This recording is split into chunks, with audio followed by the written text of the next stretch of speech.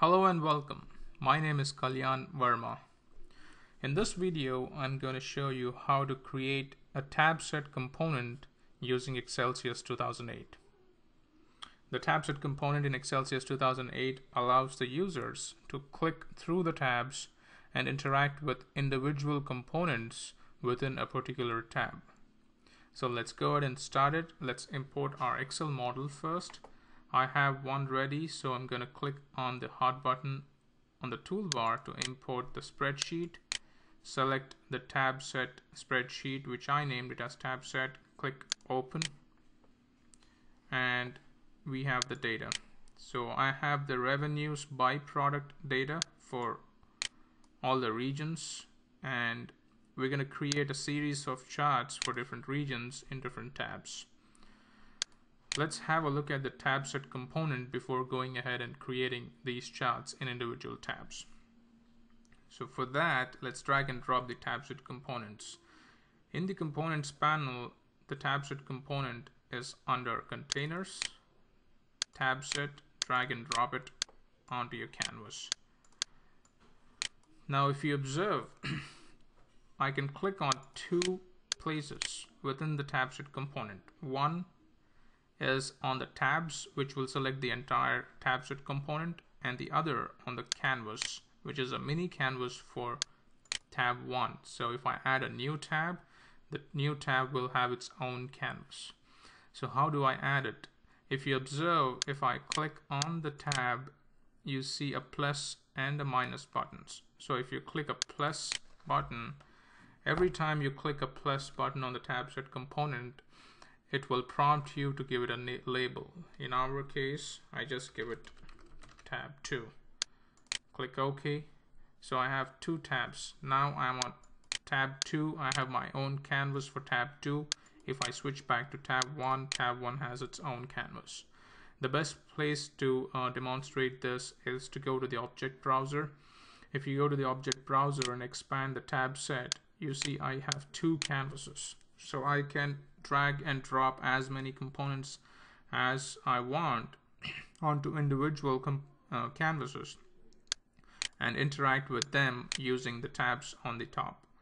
So if I want to change the order of the tab set canvases, I can always click on any of the canvas and use the up arrow or down arrow within the object browser, which will rearrange my tabs. So if I click on the up arrow and observe tab 2, it will shift to position 1. so with this you can use, you can rearrange your tabs. Let's go ahead and give our tabs names. So if you look at the properties panel, you have to, uh, you notice that there are two properties panel, one for the entire tab set component and the other for the individual tab. So if you see, I if you see, uh, I click when I click on the tab, I see the tab set component properties. But if I click on the canvas of the tab, I see the canvas properties. So in order to change the name of the tab, you should always be on the canvas properties, but not on the tab set component properties. So I click on the canvas of tab 2 I go to the properties and I can bind this to any of my cells in the Excel model which will give it a name. In this case I'm going to bind it to the first cell which is North America and so on and so forth. I'm going to add a few more tabs which say tab 3 tab 4 and so on. I already have a file ready so I'm gonna open it now.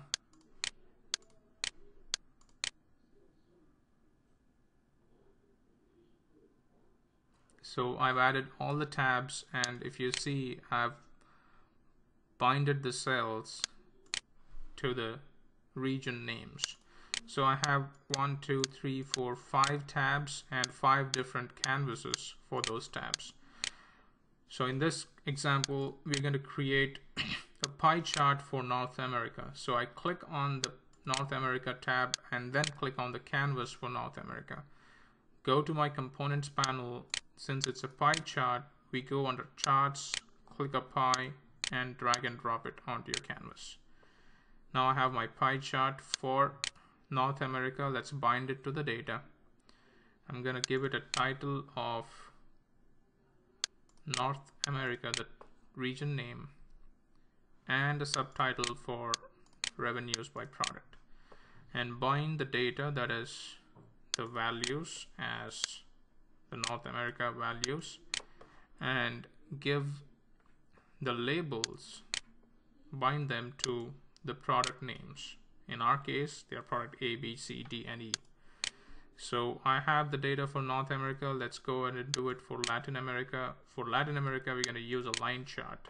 So let's go ahead and drag and drop a line chart. Give it a title. Give it a subtitle. And then bind your data. I'm gonna add a series here. Give it a name bind it then the y values as the dollar amounts and the x labels as the product names. Similarly you can go ahead and do it for Europe Asia Australia and Pacific.